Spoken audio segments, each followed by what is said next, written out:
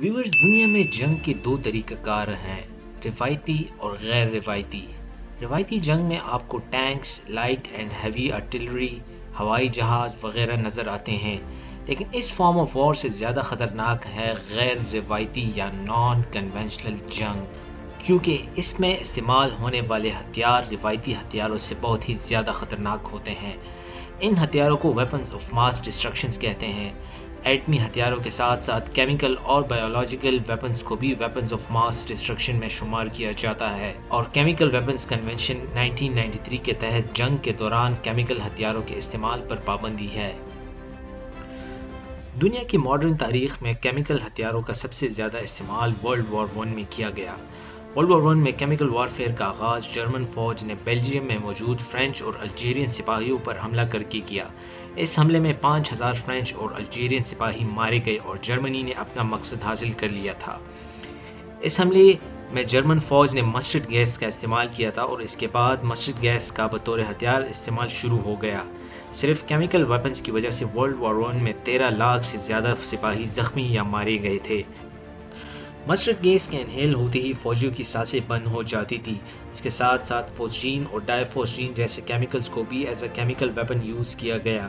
इसी तरह हॉलोकास्ट में जर्मन नाजीज ने लाखों यहूदियों को कार्बन मोनोक्साइड और हाइड्रोजन साइनाइड से हलाक किया, जो कि केमिकल वॉरफेयर की ही एक शक्ल है। हालिया तारीख में केमिकल वेपन्स का इस्तेमाल सद्दाम हुसैन ने सबसे ज़्यादा किया। 1988 में कुर्दों ने ईरान के साथ मिलकर इराकी सूबे बसरा पर हमला किया। तो सद्दाम हुसैन ने उसका जवाब केमिकल अटैक्स की सूरत में दिया।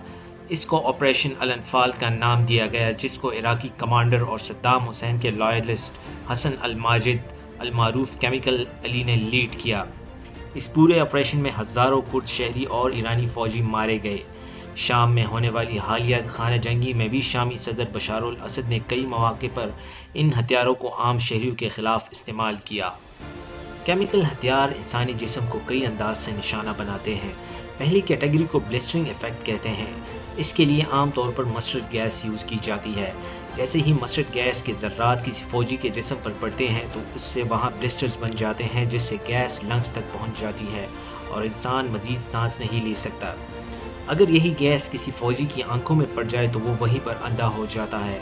मस्टर्ड गैस अगरचे सबसे ज़्यादा इस्तेमाल की जाती है, लेकिन इसका किल रेशियो सिर्फ़ फाइव परसेंट है।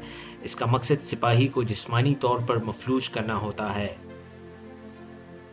दूसरी कैटेगरी के केमिकल हथियारों को नर्व एजेंट या वी एक्स कहते हैं। इसकी किल रेशियो बहुत ही ज़्यादा होती है।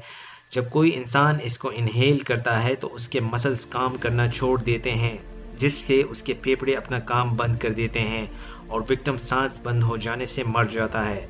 इसी तरह साइनाइड भी एज अ ब्लड एजेंट काम कर सकता है, जो कि नर्व एजेंट की तरह रेस्पिरेशन को ख़त्म कर सकता है। फॉस्टीन गैस को भी बतौर चोकिंग एजेंट इस्तेमाल किया जाता है। वर्ल्ड वॉर वन के दौरान जर्मन ने फ्रेंच पर कई फॉस्टीन गैस के हमले किए। इससे इंसान का दिफाई निज़ाम काम बंद कर देता है और लंग्स में ऑक्सीजन की कमी आ जाती है, जिससे इंसान चोकिंग से मर जाता है। जंग के दौरान किसी भी फौजी को सिर्फ़ एनिमी कम्बेटेंट्स को मारने की इजाज़त होती है, लेकिन केमिकल वेपन्स इस किस्म की कोई तफरीक नहीं कर सकते।